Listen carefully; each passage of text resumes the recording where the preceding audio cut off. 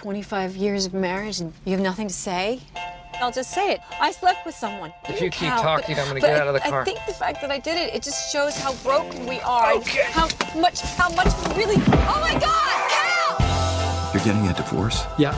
Amy heard you crying in the bathroom. We all thought it was cancer. Oh, Thank God, man. yeah, just my relationship. Hi, can I buy you a drink? Uh-huh. Let's get out of here. Want to get out of here? Yeah. What are you doing later? I don't know. I do. There's lots of beautiful women in this bar, but I can't take my eyes off of you. It's time to go home. Oh, it's forward of you, but okay. Yeah. Should I pull the car around? Have you been drinking? I'll drive. hey, ladies' man guy. Any tips of the trade? Your wife cheated on you because you lost sight of who you are as a man. Why don't you take that straw out of your mouth? It looks like you're sucking on it. Okay. You're sitting there with a supercuts haircut, and you're wearing a 44 when you should be wearing a 42 regular. Credit card. Where are your wallets? Did you sleep with them?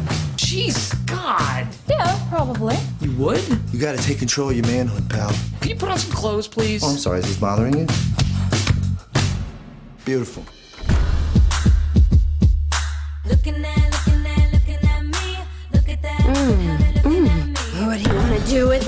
I want to show you off to my ex-wife, make her really jealous.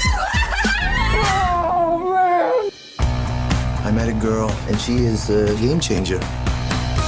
She's your soulmate, right? Go get her back. Wow, how old are you? I'm in love with her, and I don't know what to do about it. I don't know when you and I stopped being us. You know, when I told you that I had to work late, I really went to see the new Twilight movie by myself. And it was so bad.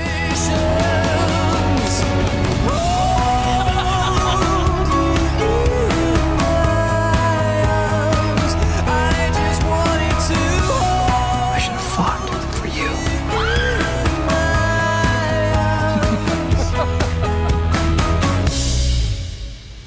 Take off your shirt. Why?